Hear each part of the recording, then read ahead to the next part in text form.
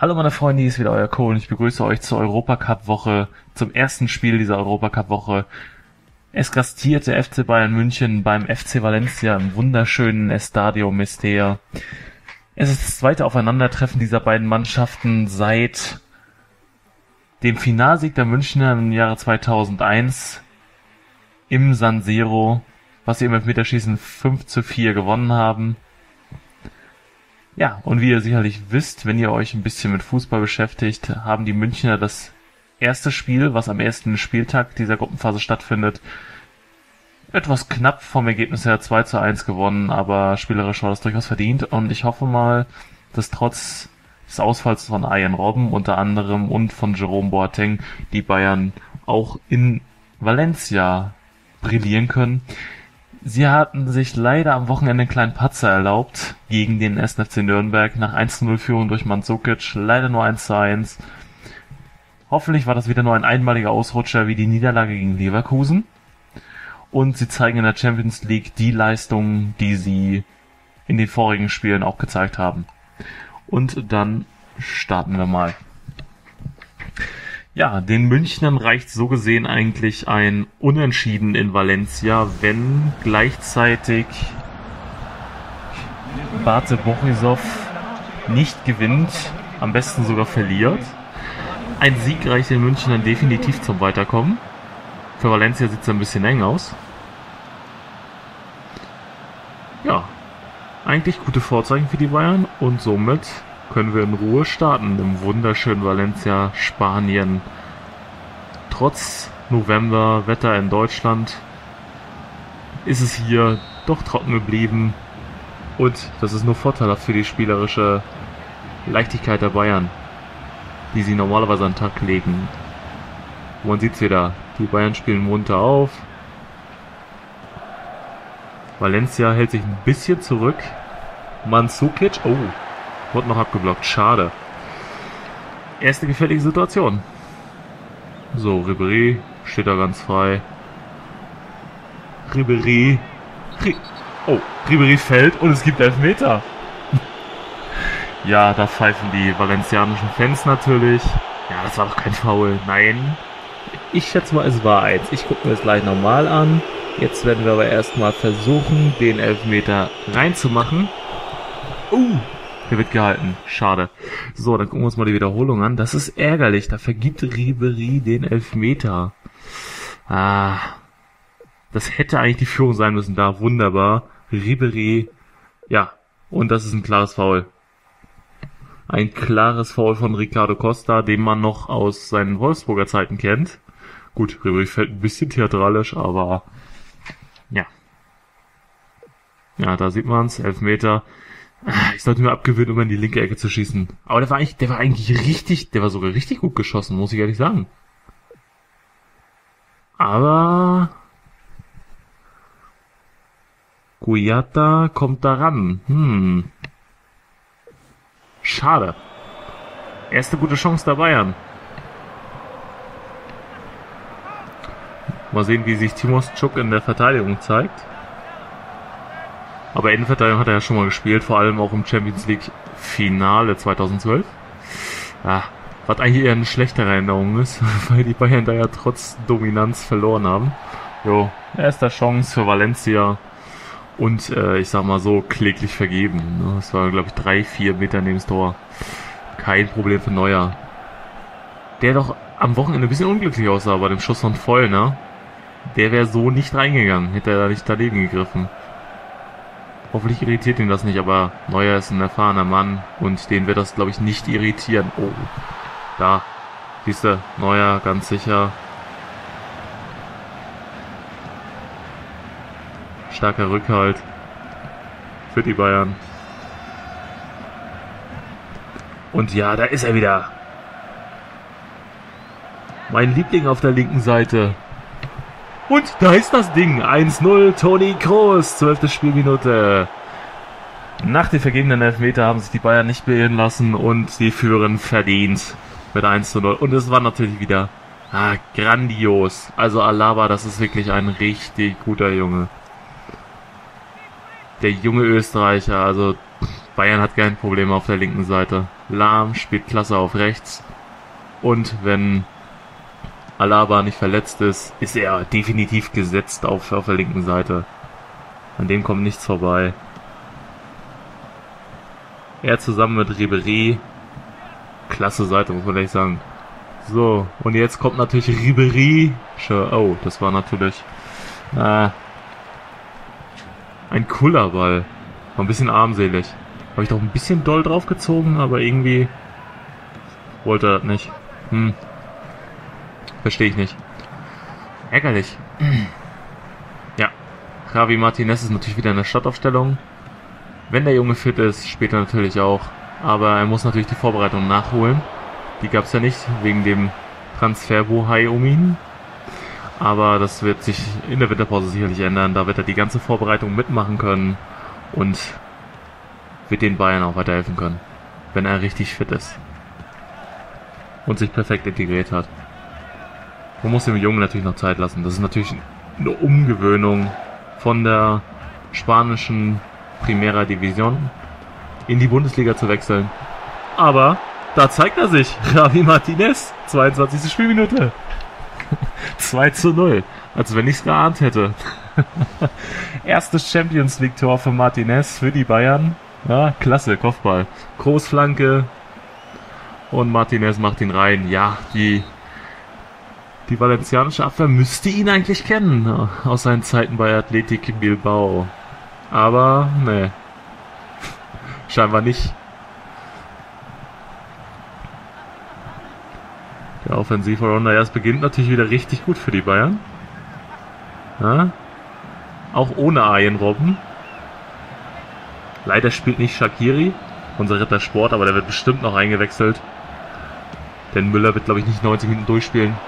Ähm, wow. Heinkes ist ja ein Freund der Rotation. Und daher denke ich mal, dass er da nicht durchspielt. Oh, Javi Martinez auf der Außenbahn. Was ist denn da los? Was ist da denn los? Und die Flanke von Martinez. Und da ist das 3 zu 0. Mario Mandzukic, 27. Spielminute. Das läuft ja. Genial. oh Leute. Wird das mein zweiter Sieg? Ihr merkt schon, ich kann mit dem FC Bayern wohl doch deutlich besser spielen als mit den anderen Mannschaften.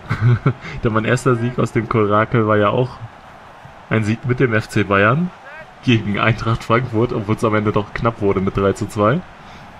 Aber jetzt, äh, jetzt nicht beirren lassen, am besten noch eins nachlegen. Also so ein schönes 4 zu 0 ist natürlich äh, eine Hausnummer, ne?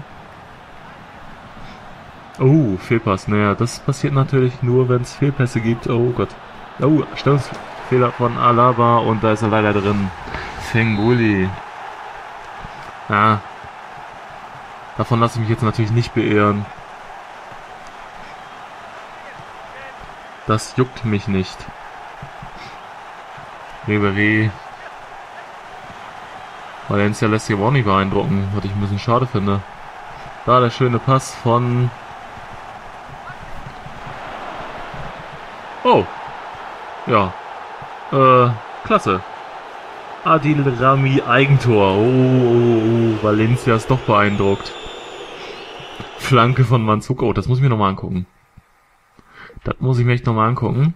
Entschuldigung, Leute, aber das muss man sich angucken. Hier der, der wunderschöne Pass von Javi Martinez. Dann die Flanke von Manzukic. Ist eigentlich nicht seine Aufgabe. Und das sieht aber ein bisschen nach... Na, doch nicht Handspiel.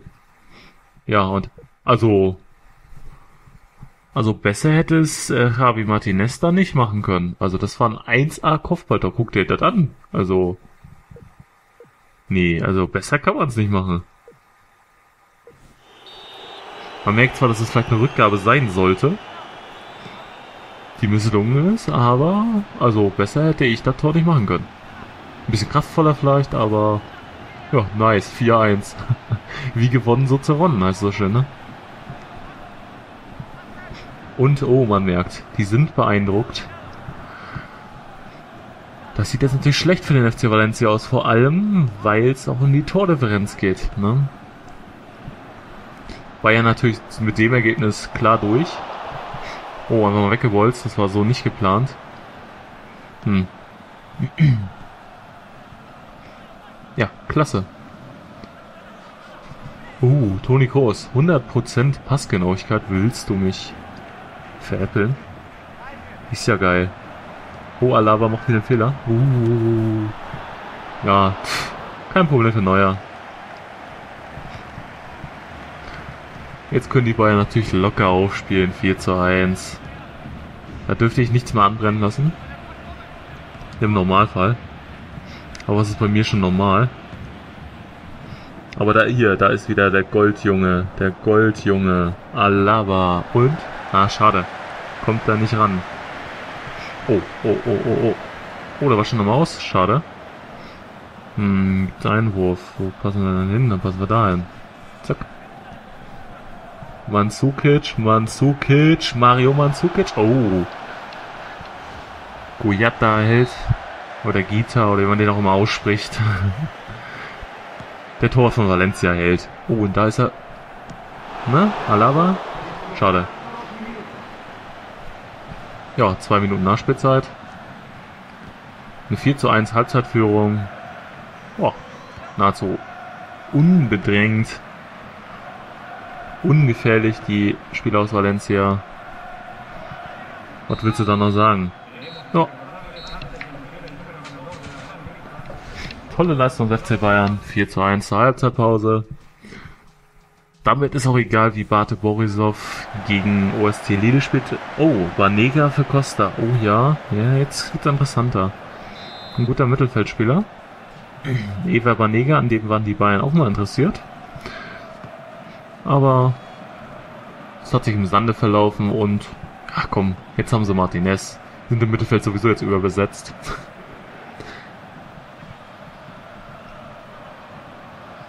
Wenn Martinez und Schweinsteiger fit sind, spielen die beide sowieso. Dann haben sie ja noch Gustavo. Oh, den hält Neuer locker. Dann haben sie noch Gustavo. Timoschuk. Und Groß kann auch noch im defensiven Mittelfeld spielen. Also, wo ist das Problem? Uh, na, der Ball, der war nicht präzise genug. Schade.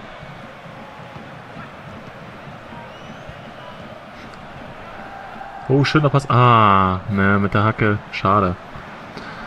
Also diesmal kommen die Pässe richtig gut an von Javi Martinez. So soll es auch sein. So war es auch geplant. Dass er der Ballverteiler ist mit Schweinsteiger. Also so zwei spielstarke Mittelfeldspieler im Mittelfeld. Das ist natürlich sehr optimal. Und Valencia steht doch recht offen. Na, schade. Da sollte es in die Lücke gehen. Aber Satz mit X war wohl nix. Wie es so schon heißt. Oh. Ja, da, äh, ich wollte gerade sagen, da passt Toni Kroos auf, aber doch nicht so richtig. Oh, nächster Wechsel. Albeda für Fernando Gago. Ja. Da wird dann doch ein bisschen mehr Wert auf, auf gute Verteidigung gesetzt. Denn beides defensive Mittelfeldspieler. Aber es bringt nicht so viel. Also ich hätte jetzt vielleicht doch einen Stürmer gebracht, denn Valencia kann sich damit nicht zufrieden geben zu verlieren. Sie haben zwar neun Punkte und liegen damit noch vor Bate Borisov, aber das ist nicht sicher, dass sie dann noch weiterkommen. Und Neuer, komm raus. Glanzparade. Uh, gut abgeblockt von Lahm. Ah, Abseits, oder? Abseits. Klares Abseits. So, dann werde ich jetzt mal wechseln. Rotationsprinzip. Ähm, ja. Shakiri holen wir mal rein. Und ich glaube, ich werde auch noch Claudio Pizarro reinholen, denn Manzukic hat bis jetzt gut gespielt, hat sein Tor gemacht. Das reicht. Bei Falcon Defense natürlich ist mir relativ egal. Oh. Oh, was haben die denn da gerade gemacht? Kleine Siesta oder was? Also das muss ich mir gleich nochmal... Ups, nein, falscher Knopf. Ach man, das muss ich mir gleich nochmal angucken. Das sah recht witzig aus.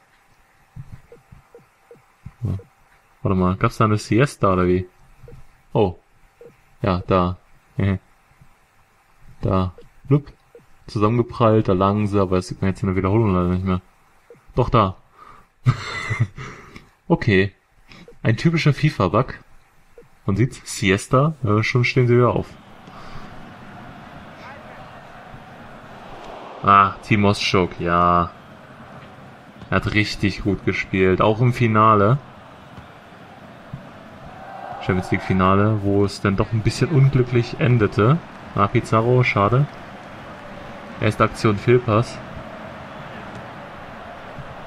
Na, also das ist lächerlich.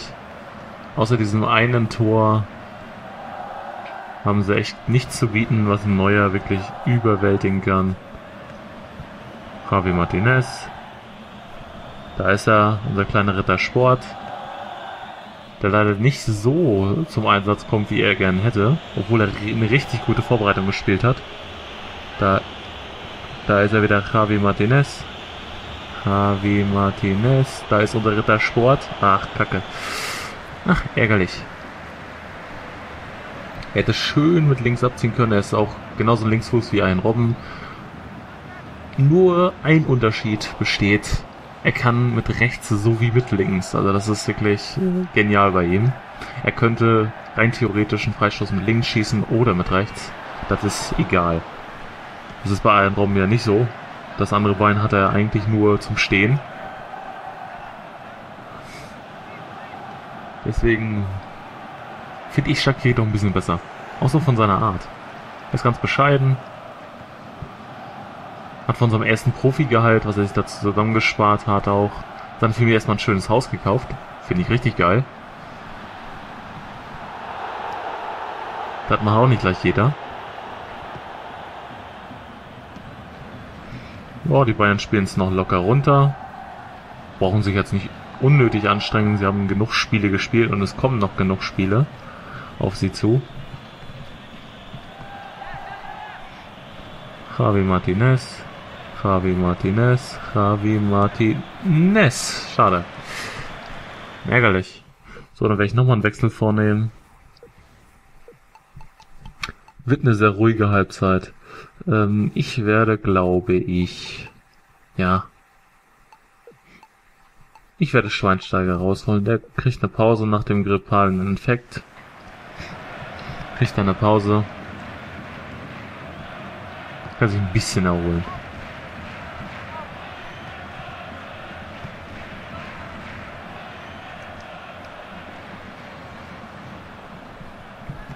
Ich werde jetzt auf Konter spielen. Das mehr muss ich ja nicht machen. Na, ein gutes Pferd muss nicht höher springen.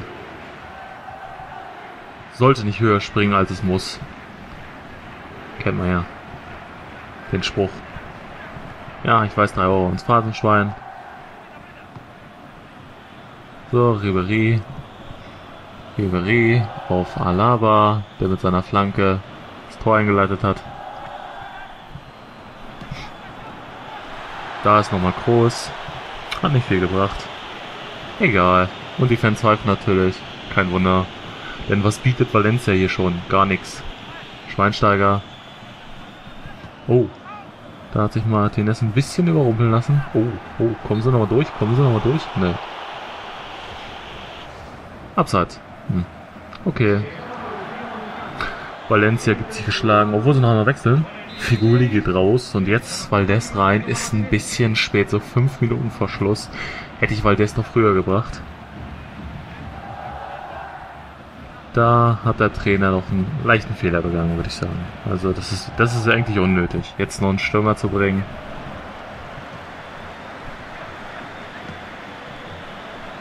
Jetzt echt noch einen Stürmer zu bringen. Alter Falter.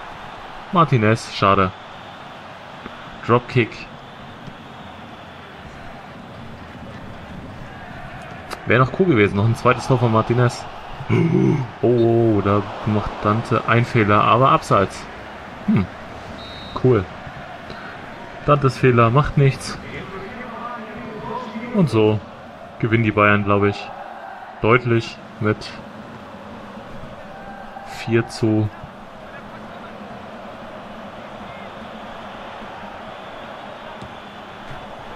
Okay, 5 zu 1.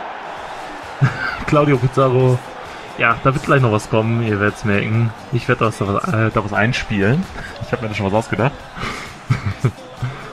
Passt nicht ganz, aber ist lustig. So, ja. Na. Der Tor war schlecht, das war eine leichte Körpertäuschung.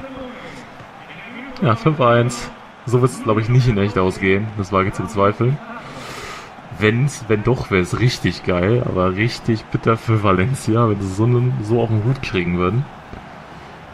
Das hätten sie dann schon in München kriegen müssen, so auf den Hut. Ja. Oh. Nein. Fehlerhaftes Stellungsspiel, fehlerhaftes Stellungsspiel. Oh, naja, nein. Okay, gibt's noch ein zweites Gegentor. Aber da konnte Neuer nichts machen. Abgefälscht. Hat er noch pariert. Hm, das sah so ein bisschen so aus, als wenn Valdez doch ein bisschen abseits steht. Das muss ich nochmal kontrollieren. Also, das sah echt so aus, als wenn das abseits war. So, wollen wir da. Da schießt. Nee, nee, nee, nee. Hinten hebt, hinten hebt Dante das Abseits auf. Schade. Schade. Echt schade. Dass Dante das Abseits aufhebt. Neuer pariert noch richtig gut. Ja, da kann Neuer auch nichts mehr machen. 5-2.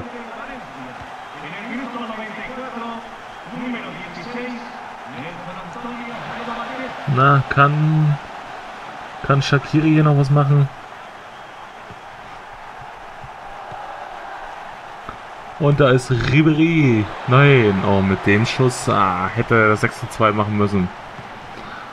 Aber das war dann doch ein bisschen zu lasch. Und somit gewinnt der FC Bayern verdient mit 5 zu 2. Aber auch ohne Probleme. Denn Valencia war recht ungefährlich. Ja, so wird das Spiel natürlich nicht ausgehen. Wäre natürlich geil, aber ich glaube nicht richtig dran. Bayern wird, das wird bestimmt wieder knapper, als die Partie läuft. Wird das vom Ergebnis her ein 2 zu 0 für Bayern.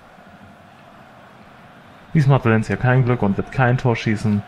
Deswegen wird es ein glattes und problemloses 2 zu 0 für den FC Bayern, glaube ich, schon dran. Ja. Mit den Bildern des Tages verabschiede ich mich dann mal. Leute, wenn wir schön unsportlich bleiben, reingehauen, wieder schauen. Ciao sonst.